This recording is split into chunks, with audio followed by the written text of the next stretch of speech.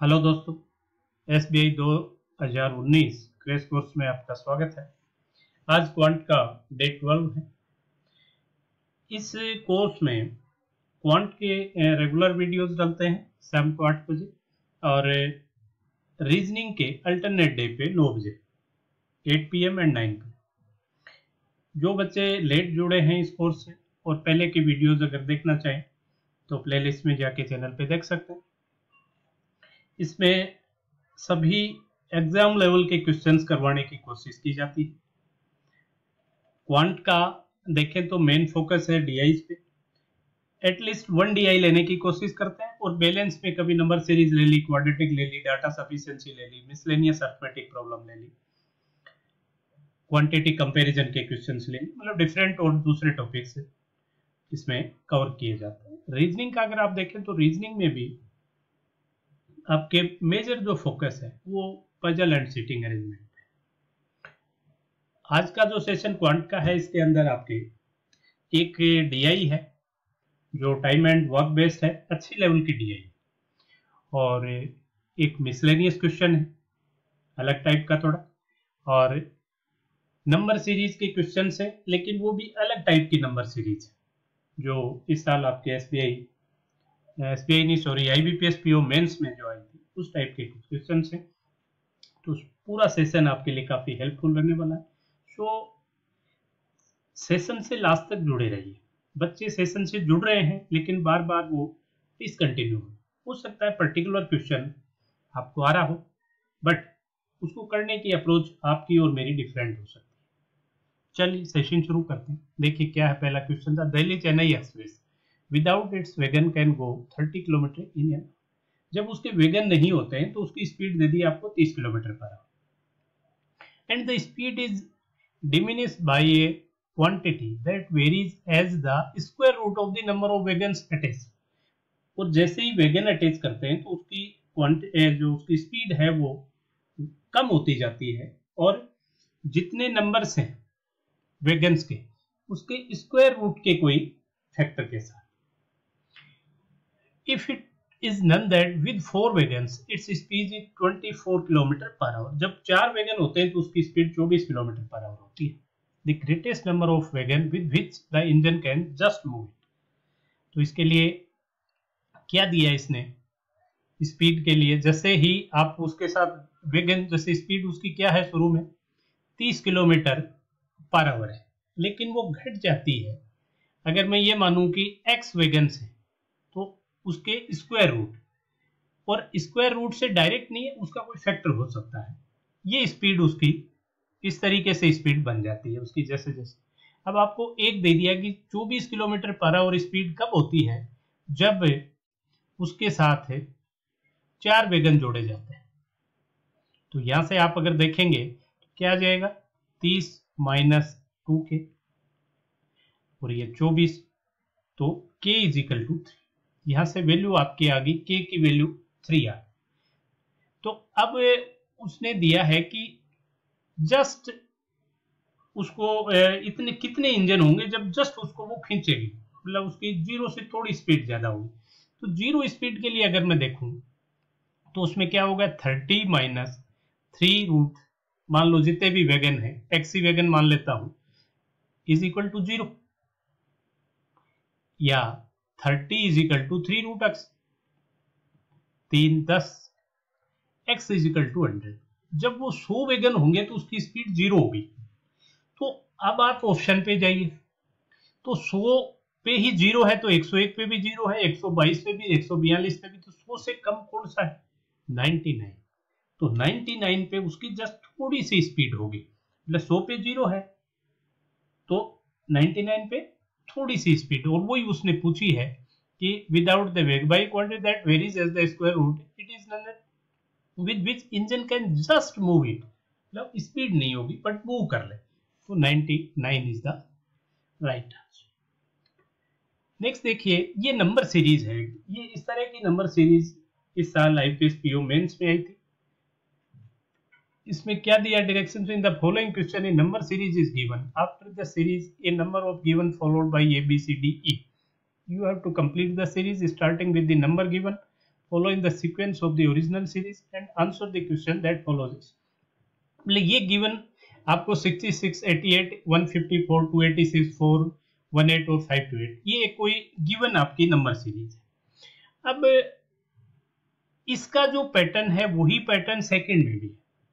और इसमें आपको जैसे इसमें क्या पूछा है? डी की वैल्यू इस डी को पूछ लिया कि डी की वैल्यू इसमें कितनी होगी?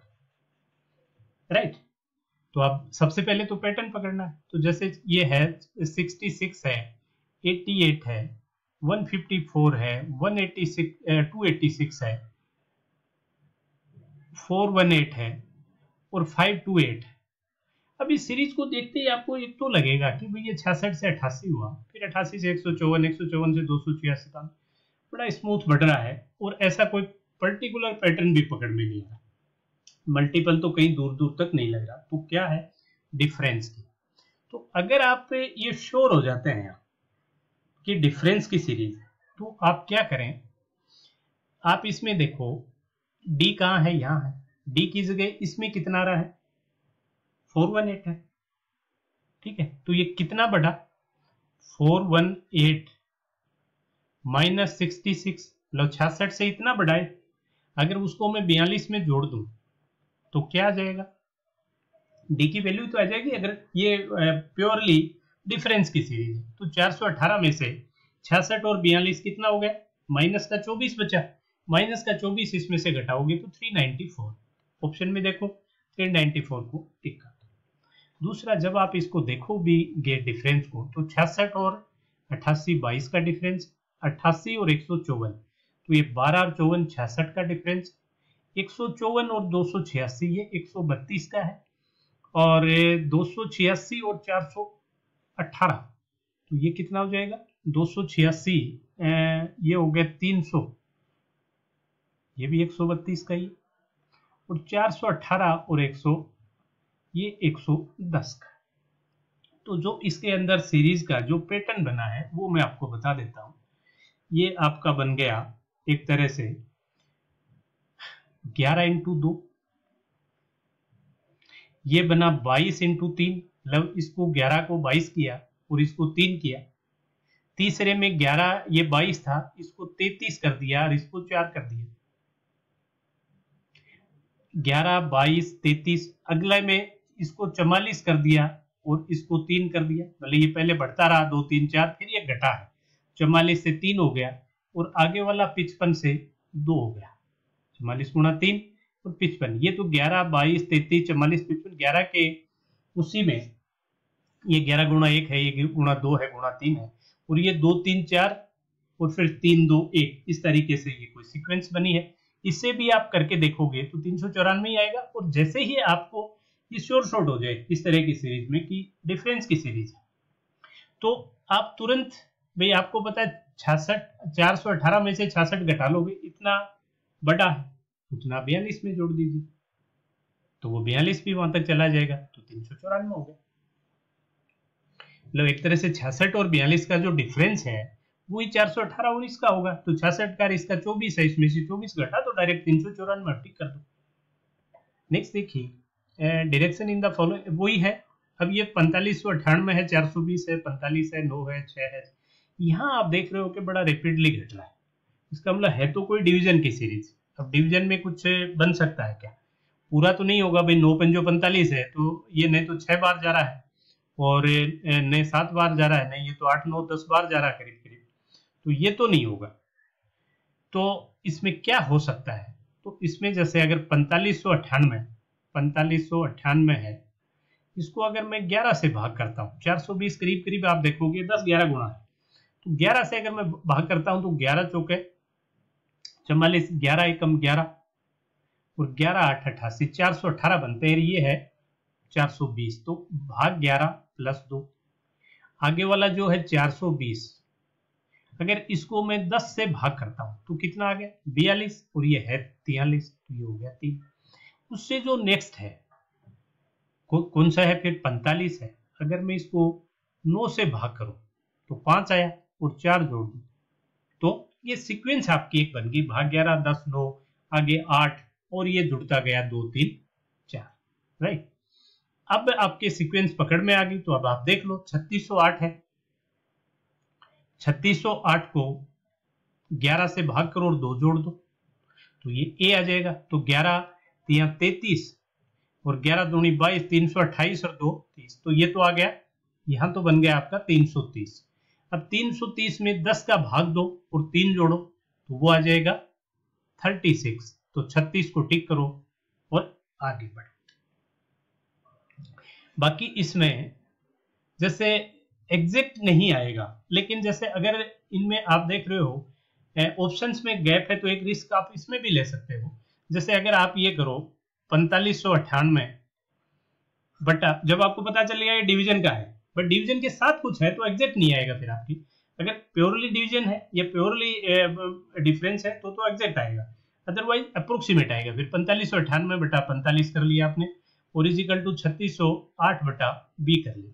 यहाँ से भी बी को आप सोल्व करोगे तो वो भी इस 36 के आसपास की संख्या आएगी। तो उसको आप अप्रोक्सीमेशन आएगा।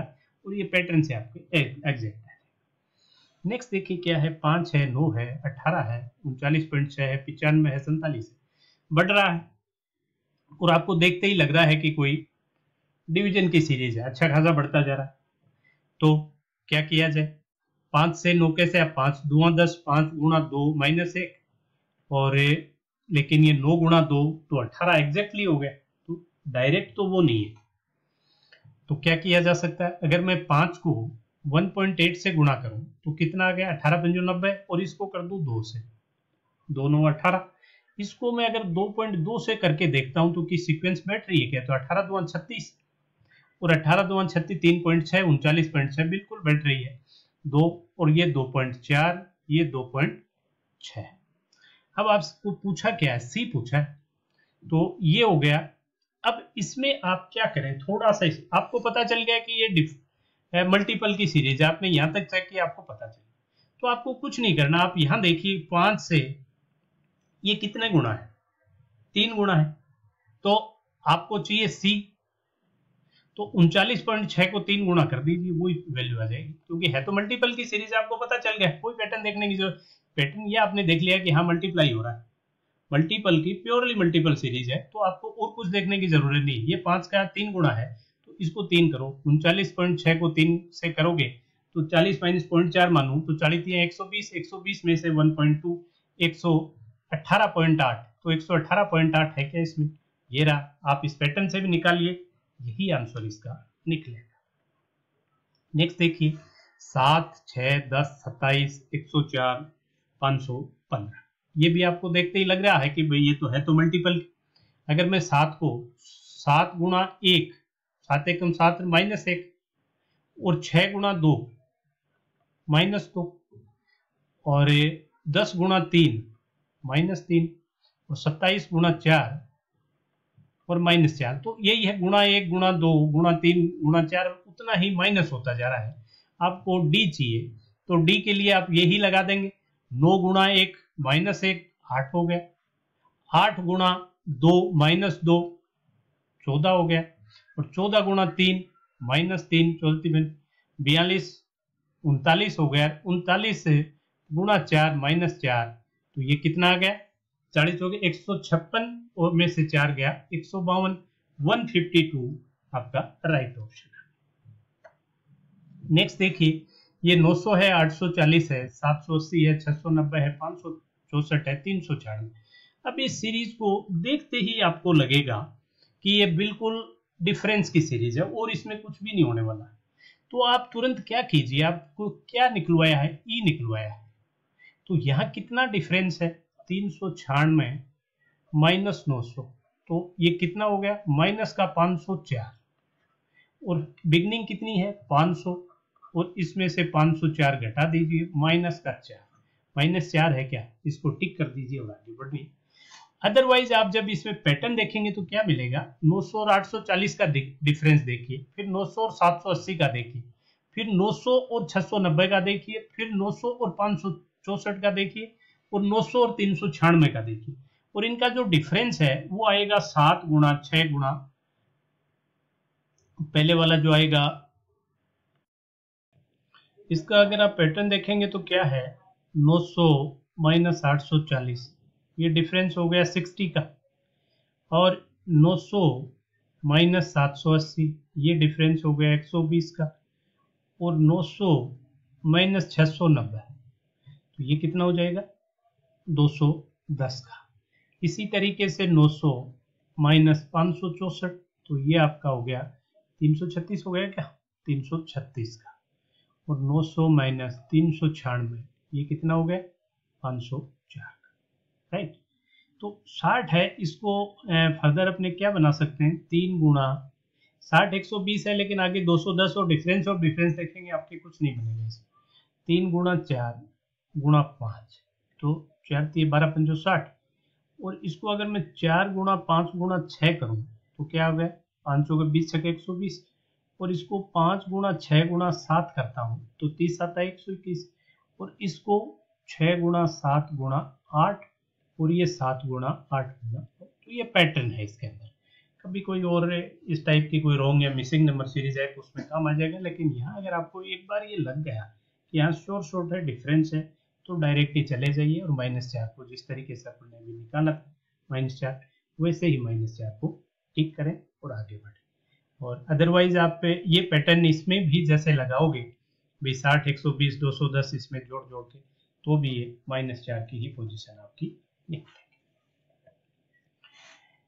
नेक्स्ट देखिए, ये एक आपका डीआई है। क्या दिया है? Five workers A B C D E work employed for a task किसी काम करने के लिए कितने हो गए? एक तो ए हो गया बी हो गया सी हो गया डी हो गया और ई हो गया। ठीक है? Number of days work by all of them was not the same working days जो है इनके, वो सेम नहीं है। वर्किंग डेज़ ये मान लो ये आ गए। Following information in none about them the efficiency of B and D are in ratio four ratio three मतलब बी की इफिशियंसी और डी की जो इफिशियंसी है उसका रेशियो चार और तीन का दिया है। ठीक है? B completed one third of the work और डी कंप्लीटेड वन सिक्स तो अगर ये पार्ट ऑफ़ जॉब कंप्लीटेड जिस जिस ने जितना काम किया है, अगर वो निकाले आपने तो ये कितना दिया है? पहले आपको दे दिया बी का वन थर्ड तो बी अगर मैं यहाँ देखूँ तो ये वन थर्ड कर रहा है बी और डी कर रहा है वन सिक्स ये दिया A B and D work for पाँच ए पाँच दिन काम कर रहा है एंड बी कर रहा है छह दिन और ई e कर रहा है ए बी एंड ई ये तीन दिन काम कर रहा है।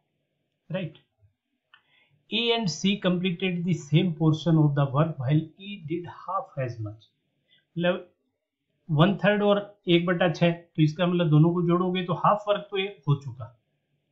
हाफ़ तो हो गया। बचा हुआ जो हाफ़ है, उसके लिए इसने कहा है कि ए और सी और डी सॉरी सी और डी जो है सी और डी नहीं C and D work the same number A and C A और सी ए और सी जितना काम करते हैं, वो दोनों बराबर करते हैं और ई e उससे हाफ़ करता है। भाई जैसे ये पचास परसेंट वर्क हो गया। बचा कितना? पचास।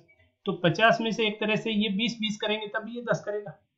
राइट तो बीस परसेंट का मतलब ये एक बटा पाँच कर रहा है और ये भी एक बटा पाँच कर रहा है और ये एक बटा दस।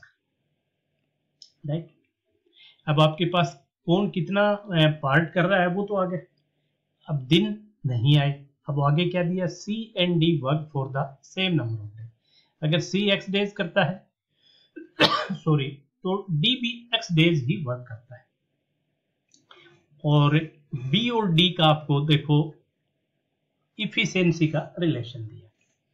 तो बी आप देखोगे तो कंप्लीट वर्क कितने दिन में करेगा? days required to complete the job मतलब उस काम को पूरा करने के लिए कितना चाहिए? तो यहाँ आप ए का देखोगे वन फिफ्थ पाँच दिन में करता है तो पूरा करेगा पच्चीस दिन। में और बी करेगा अठारह दिन में। भाई वन थर्ड ही छह दिन में कर रहा है तो पूरा तो अठारह दिन में हो गया। तो यहाँ आप देखोगे कि बी अठारह दिन में करता है और बी की इफिशियंसी है फोर तो टोटल वर्क कितना हो गया? टोटल वर्क अगर मैं यहाँ से निकालू तो 18 एक दिन में चार के वर्क करता है तो 18 इंटू चार के बहत्तर के वर्क टोटल हो राइट अगर वो ही चीज़ दूसरा कौन सा है? डी है मेरे पास डी वन सिक्स वर्क करता है एक्स डेज़ में। तो कंप्लीट कितने दिन में करेगा? छह एक्स दिन में। और छह एक्स दिन में वो कितना कर लेगा? टोटल वर्क कितना हो जाएगा? छह गुना एक्स गुना तीन के तो ती अठारह के से के कट गया, अठारह चौके बहत्तर एक्स क्या आ गए चार तो। x यहाँ से आपका निकल गया तो x का यहाँ भी चार दिन रख लो और यहाँ भी चार दिन रख लो। तो यहाँ जब ये वन फिफ्थ चार दिन में करता है तो पूरा करेगा बीस दिन में, ये करेगा चौबीस दिन में और ये करेगा तीस दिन में। आई थिंक ये तो आपके समझ में आ रहा होगा कि जब वन टेन तीन दिन में करता है तो पूरा कितने में करेगा? दस परसेंट जब तीन दिन में है तो सौ परसेंट ऑब्वियस है। दस गुना तीन, तीस दिन में करेगा। तो अब आपके पास पूरा, पूरी इंफॉर्मेशन आ गई कि वर्किंग डेज़ किस किस के कितने हैं। पार्ट ऑफ़ जॉब कौन कौन कितना कितना कर रहा है। और डेज़ कंप्लीट वर्क को अगर ए अकेला करे तो उसको कितना टाइम लगेगा? वो भी इनके सबके निकल गया। चलिए अब इसी जो ये टेबल जो आपने बनाई है, इसी को फेयर करके मैंने आगे नोट कर लिया है। यही टेबल है जो पीछे आपने बनाई अब पहला क्वेश्चन देखिए। A and B started working A और बी ने वर्क स्टार्ट किया। After nine days left what is the time to be complete the remaining work office A और बी तो ए देखो, एक एक कितने, ए कितने दिन में कंप्लीट कर रहा है? टोटल वर्क 25 दिन में। बी कितने दिन में कर रहा है? बी कर रहा है आपका 18 दिन। ठीक है? अब इन्होंने कितने दिन काम किया है? इन्होंने नौ दिन काम किया तो इसकी दो तरीके से हो सकता है। पहला आप क्या कर सकते हो? फ़र्स्ट जैसे एलसीएम मेथड से अगर आप करें तो मैंने ये मान लिया कि 25 गुना अठारह टोटल वर्क कितने यूनिट है। ए करेगा रोज़ाना 18 यूनिट ये करेगा 25 यूनिट ठीक है? तो नौ दिन में इन्होंने कितना कर लिया? 25 प्लस अठारह गुणा नौ तियालीस गुणा नौ यूनिट इन्होंने काम कर लिया और बचा कितना? भाई ये हो गया 43 थ्री इंटू नाइन अब बैलेंस वर्क कितना बचा? बैलेंस आपका बचा 25 गुणा अठारह माइनस तियालीस गुणा नौ अगर मैं नौ कॉमन ले लेता हूँ तो ये तो आ गया पचास, और ये आ गया तियालीस। तो सिक्सटी थ्री यूनिट्स बाकी बचा। और ए को करना है वो।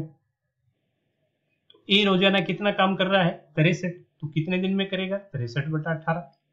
तो अठारह तीय चौवन और नौ नौ बटा अठारह हाफ़ तो साढ़े तीन दिन में वो बैलेंस वर्क को कर। दूसरा सॉरी इसका फ्रैक्शन से भी आप निकाल लोगे। भाई आप देख रहे हो ए एक दिन में कितना कर रहा है? नंबर ऑफ़ वर्किंग डेज़ पाँच दिन में वो एक बटा पाँच कर रहा है। या पच्चीस दिन में पूरा कर रहा है तो एक दिन में कर रहा है वो एक बटा पच्चीस। और बी कर रहा है, एक दिन में एक बटा अठारह। और नौ दिन में कितना कर लेंगे? गुणा नौ। बाकी कितना बचेगा? वन माइनस इतना। और फिर उसी के अकॉर्डिंग आप बी से भी निकाल लेंगे फ्रैक्शन से भी निकाल। नेक्स्ट देखिए F twice as efficient as E F कोई है। और उसका दे दिया कि उसकी इफिशियंसी जो है, वो इससे ट्वाइस है। किससे? ई e से। इसका मतलब वो कितने दिन में काम कर देगा? कंप्लीट वो पंद्रह दिन में करेगा। जब ये तीस दिन में कर रहा है, वो डबल है। वो पंद्रह दिन में करेगा। अब F E and C work on the project F E और सी ये तीनों उस प्रोजेक्ट पे काम कर रहे हैं। तो एफ़ टोटल वर्क कितने दिन में कर रहा है? पंद्रह दिन में कर रहा है। ई e कितने दिन में कर रहा है? ये कर रहा है तीस दिन में। और सी कितने दिन में कर रहा है? सी कर रहा है बीस दिन में। ये पोजीशन है। तो अगर मैं ये देखूँ कि साठ यूनिट अगर मैं वर्क मान लेता हूँ तो ये चार यूनिट कर रहा है ये दो यूनिट कर रहा है पर डे और ये तीन यूनिट कर रहा है। ये पोजिशन बन गई। अब चलिए आप क्या कह रहा है? On the project in the manner that one day only F work, on second day E and on third day C. मतलब अगर तीन दिन का मैं स्लॉट बनाऊँ तो पहले दिन कौन काम करेगा? F, फिर करेगा ई E और फिर करेगा सी तो इन्होंने कितना काम कर लिया? चार और दो छह, तीन, सात यूनिट काम कर लिया एक स्लॉट में। ठीक है? अब C work and soon cycle complete और दोबारा वैसे ही सीक्वेंस जैसे ही सी के बाद में फिर एफ़ आएगा ई e आएगा सी आएगा। तो आप देखो, सात यूनिट है। ये एक साइकिल सात यूनिट वर्क कर रहा है टोटल है साठ। तो साठ को अगर मैं सात से करूँगा तो सातों आठ छप्पन। तो आठ तो कंप्लीट बन गई। तो आठ आठ दिया चौबीस। चौबीस दिन तो पूरे हो गए। और चौबीस दिन के बाद कितना आठों सातों छप्पन चार यूनिट काम बच गए। कितना था टोटल साठ यूनिट था और सातों आठों छप्पन। नहीं, देखिए, गलती होगी ना, चार दो छह तीन नौ यूनिट है टोटल एक बार में ये नौ यूनिट कर लेते हैं तो साठ बटा नौ नौ छके चौवन। और नौ छके चौवन तो चौवन यूनिट तो कर लिया, छह यूनिट इनका, बच गया तो छह गुणा तीन तो इन्होंने अट्ठारह दिन काम कर लिया। एटीन डेज़ तो ये काम हो गया अब छह यूनिट बची, और फिर नंबर किसका आया बाद में? जब ये जैसे ही ये पूरा साइकिल कंप्लीट होगा तो एफ़ का आया एफ़ ने चार कर ली और ई e ने दो कर ली तो वर्क कंप्लीट किसने किया? ई ने किया। कौन से दिन? 18 दिन के बाद 19वें दिन तो इसने एफ़ ने किया, और 20वें दिन इसने किया।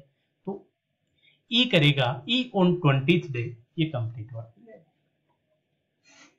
what is the total number of days taken to finish the work in लोगों ने टोटल कितने दिन लिए इस काम को खत्म करने में? तो ये तो आपने निकाल ही रखा है। पाँच और छह, ग्यारह, चार, पंद्रह, चार, उन्नीस, और तीन, बाईस दिन। बाईस दिन लिए, बाईस को टिक कर। In how many days can C alone finish the work C अकेला कितने दिन में काम को फिनिश कर सकता है? तो सी अकेला कितने दिन में कर सकता है? बीस दिन में बीस को टिक कर दो आपने निकाल लिया है तो पहले। In how many days can D and D together तो डी देखो ए, करता है चौबीस दिन में कंप्लीट और ई e करता है कितने दिन में? तीस दिन।